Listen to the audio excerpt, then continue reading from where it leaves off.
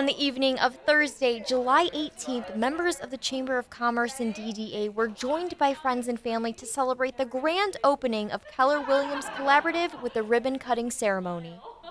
Okay, on the count of three. One, two, three, cut.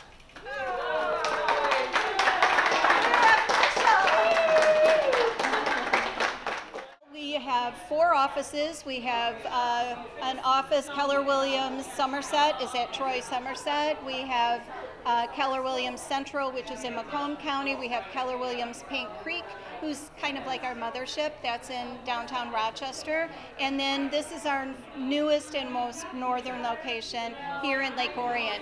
So we've built a place for high integrity, high top producing agents can feel comfortable and get the vibe and just come in and do a local business. We're very connected to charities in the community and we're very connected to buying local, using local, and participating here in the downtown community. So having local agents is really our focus here.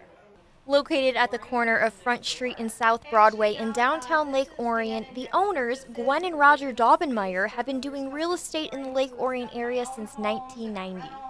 Gwen said she's been trying to find a space in the Lake Orion area since 2016. Well, I've been trying to get down here since 2016 and have looked at a few spaces and these either too small or, you know, too much. And a good client of mine is Matt Moore, who owns the Johnny Blacks, and I texted him one day and I said, you have your finger on the pulse of what's going on and I'm looking for space.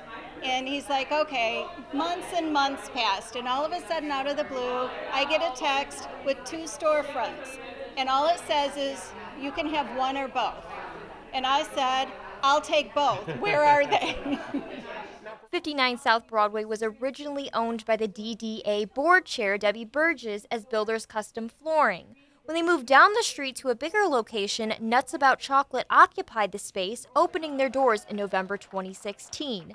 Then, Alexer Clothing opened in the summer of 2014, occupying 51 South Broadway. The neighboring businesses both closed their doors in August 2023 suddenly after concerns of the condition of the building began to arise. Fast forward to 2024, Keller Williams Collaborative agreed to renovate the interior and take the necessary actions to update the construction of the building merging both sides together. No, what you see here, I probably picked out everything but the screws that are in the outlet. So I'm an accredited stager. Um, so I had a dream of building a space that I felt good walking into. I think it's fun. So uh, when we got these two spaces, um, Matt and his partner Denny took care of the exterior. This was our agreement. And uh, they did a lot of the renovations on the interior that had to be done. The electrical was bad, and plumbing was bad, and the furnaces were bad, all of that kind of stuff. I did all of the what you see work, right? they did all the what you don't see work.